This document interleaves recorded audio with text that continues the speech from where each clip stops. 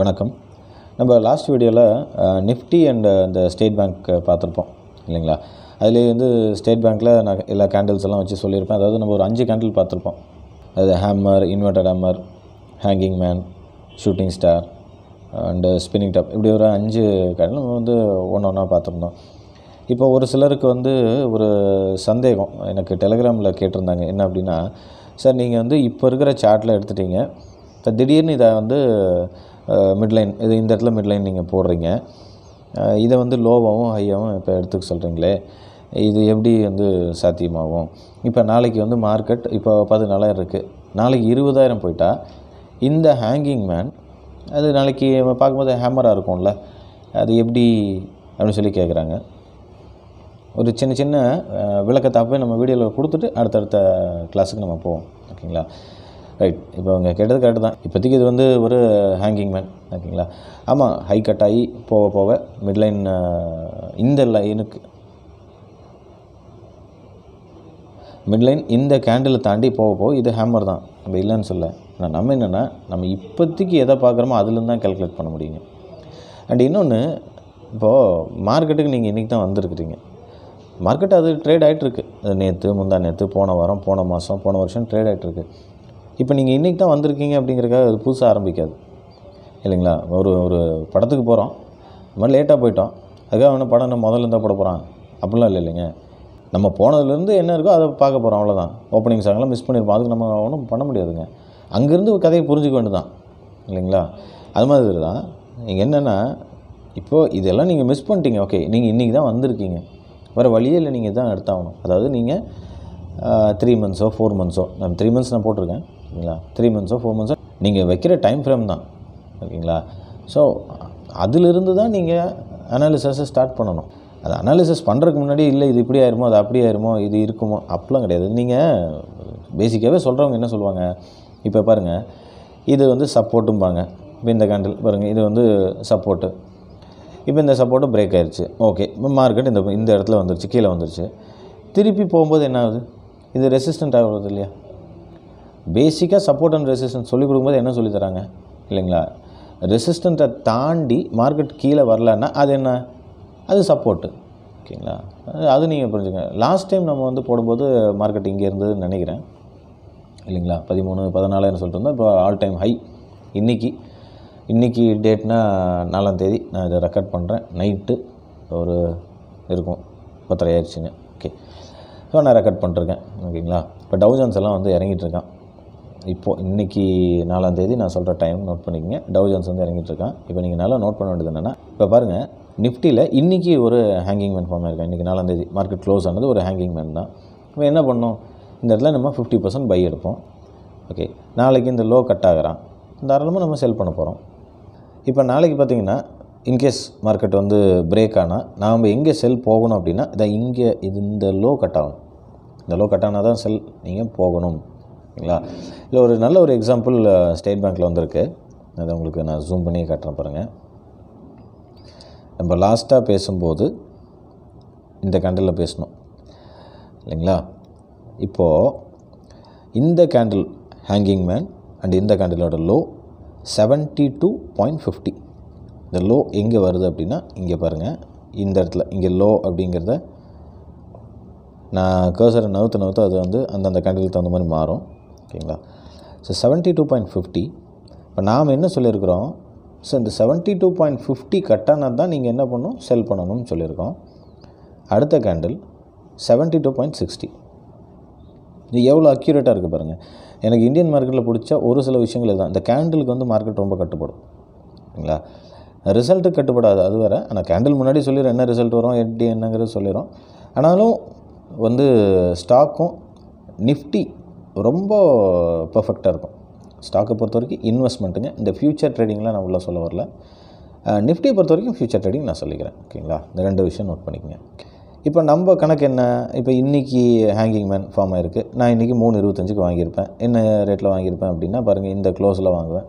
ஒரு இரநூத்தி எழுபத்தி ஏழுன்னு வச்சுக்கோமே. ம், வாங்குகிறேன் அடுத்த நாள் எனக்கு ஸ்டாப் ஹிட் ஆகலை ஸோ ஹோல்ட் பண்ணுறேன் அதுக்கு அடுத்த நாள் மார்க்கெட் வந்து ஒரு one point six two percentage plus seventy eighty வரைக்கும் போயிருக்கான்.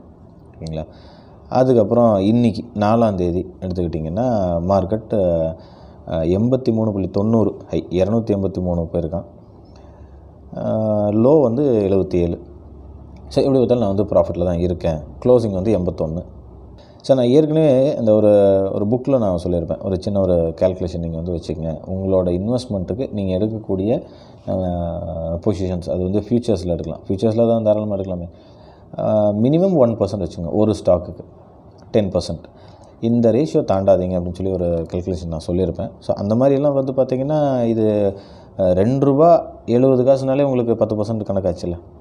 ஸோ எக்ஸிட் ஆயிடணும் அவ்வளோதான் ஆர்எல்ஸ் ஃப்யூச்சரில் ட்ரேட் பண்ணுறீங்களா தௌசண்ட் ருபீஸுங்கிற அந்த அந்த லாட் சைஸ் ஓகேங்களா? நீங்கள் என்ன லாட் சைஸ் இப்போ இரநூத்தம்பது அப்படின்னா நாலு பாயிண்ட் என்ன புக் பண்ணிடணும்? அவ்வளோதான் இது வந்து ஒரு ஷார்ட் டேர்ம் ட்ரேடருக்கு நான் சொல்கிறது ஏன்னா நம்ம வந்து டெய்லி தான் நம்ம வைக்கிறோம்.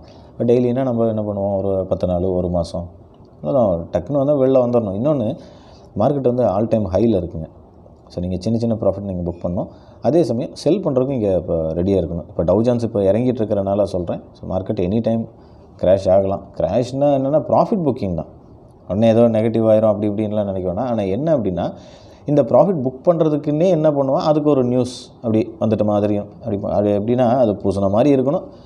அது பூசாத மாதிரி இருக்கணுங்கிறதான் சொல்லணும். ஸோ இதுக்காக ஒரு சின்ன ஒரு ஒரு பேட் நியூஸ் ஏதோ ஒன்று அப்படி நடந்துட்ட மாதிரியும் இப்படி போயிட்ட மாதிரியும். அதனால் மார்க்கெட்டு இதான மாதிரியும். மற்றபடியெல்லாம் எங்கள் நிறுவனங்கள் மீது எந்த குறையும் இல்லை அப்படிங்கிற மாதிரி தான் வரும் சரிங்களா ஸோ இதை நீங்கள் வந்து இப்போ நம்ம போன வாரம் பார்த்தோம். இது கூட நீங்கள் ஒரு நல்ல ஒரு எக்ஸாம்பிளாக நீங்கள் இதை எடுத்துக்கலாம். ஒரு ஜஸ்ட் அண்ட் ஒரு அப்டேட்டு தான் ஓகேங்களா? ஓகே இந்த ஸ்டடியோட கண்டினியூட்டி நம்ம என்ன பண்ண போகிறோம் இன்றைக்கி மண்டே வெட்னஸ்டே ஈவினிங் ஒரு த்ரீ ஃபிஃப்டீனுக்கு நம்ம ஒரு லைவ் போவோம். மேபி நாளைக்கு வந்து மார்க்கெட் சின்னதாக ஒரு ஃபால் இருக்கலாம். சரிங்களா? இந்த வீடியோ ஆனால் எப்போ அப்லோட் ஆகும்னு எனக்கு தெரில நான் இன்றைக்கி முடிச்சிட்டேன் அப்படின்னா இன்றைக்கி நைட்டு கண்டிப்பாக முடியாது. ஆல்ரெடி டைம் ஆயிடுச்சு. நாளைக்கு ஈவினிங்கில் நான் அப்லோட் பண்ண பார்த்துறேன் ஸோ நம்ம வந்து வெட்னஸ்டே உங்களுக்கு டைம் இருக்கும். ஸோ வெட்னஸ்டே நீங்கள் தாராளமாக நீங்கள் லைவ் எதிர்பார்க்கலாம் அப்படிங்கிறத சொல்லிடுறேன். அப்புறம் இந்த புதுசாக வரவங்களுக்கு நிறைய டவுட்ஸ் நிறைய வந்து நம்மளுக்கு என்ன சொல்கிறீங்க டெலகிராம்லேயும் வாட்ஸ்அப்லேயும் அனுப்பிச்சிட்ருக்கீங்க நானும் நிறைய இடங்களில் என்னோடய நம்பர் இதெல்லாம் கொடுத்து வச்சிடுறேன். பட் பரவாயில்ல நீங்கள் அனுப்புங்க. ஒரு சில நேரங்களில் நம்ம வந்து ட்ராவலிங்லேயோ அல்லது மற்ற வேலையில் இருக்கும்போது ரிப்ளை பண்ண முடியலன்னா என்ன பண்ணுங்கள் நீங்கள் வந்து ஒரு சின்ன ஒரு வேலை மட்டும் பண்ணுங்கள் இங்கே பாருங்கள் இந்த ஆல்ஃபா லேர்னிங் இன்ஸ்டியூட் இந்த டெலிகிராம் குரூப்பில் ஜாயின் பண்ணிக்கங்க. நிறைய பேர் வாட்ஸ்அப் குரூப் இருக்கான்னு கேட்குறீங்க. வாட்ஸ்அப் குரூப்பெல்லாம் எதுவும் கிடையாதுங்க. நம்ம டெ டெலிகிராம் குரூப் மட்டும்தான் இருக்குது இதில் வந்து ஃபாரக்ஸு இந்தியன் மார்க்கெட்டு இது எல்லாமே வந்து நம்ம ஷேர் பண்ணுவோம்.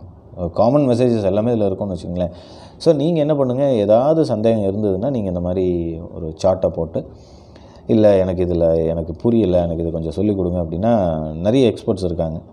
ஓகேங்களா? அதுவும் கேண்டில் ஸ்டிக்ஸ் மட்டும்தான். உடனே வந்து அந்த மூவிங் ஆவரேஜ் அது இதெல்லாம் அப்படிலாம் கிடையாது. நீங்கள் அவங்க போட்டுக்குவாங்க. இப்போ நீங்கள் பாருங்கள் அவர் ஒருத்தர் போட்டிருக்காரு. அவர் மூவிங் ஆவரேஜ் எல்லாமே அவர் அது அவரோட விருப்பம். பட் பை அப்படிங்கிறது கேண்டிலை பேஸ் பண்ணி தான் இருக்கும். மற்றது எல்லாம் என்ன சொல்கிறது இந்த மூவிங் ஆவரேஜ் இந்த லீடிங் இண்டிகேட்டர்ஸ் லேகிங் இண்டிகேட்டர்ஸ் எல்லாமே நமக்கு அது ஒரு லேகிங் இண்டிகேட்டர் தான். ஒரு டபுள் கன்ஃபர்மேஷன் வச்சுக்கோமே. அல்லது இன்னும் கூட ஒரு விஷயம் சொல்லணும் அப்படின்னா கேண்டில் சிக்ஸ் என்ட்ரி கொடுத்துருது.